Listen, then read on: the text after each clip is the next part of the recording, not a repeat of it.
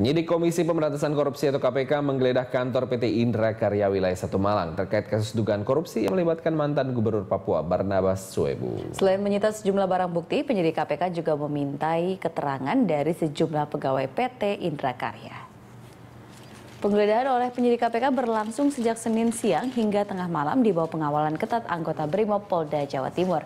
Penyidik berkonsentrasi memeriksa dan menggeledah lantai 1 dan 2 kantor yang terletak di Jalan Surabaya 3, A Malang, Jawa Timur.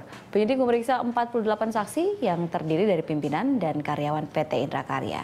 Selain itu, sejumlah yang dikemas dalam satu koper dan lima dus disita terkait pengadaan detail engineering design PLTA yang diduga dikorup dan merugikan negara senilai 36 miliar rupiah.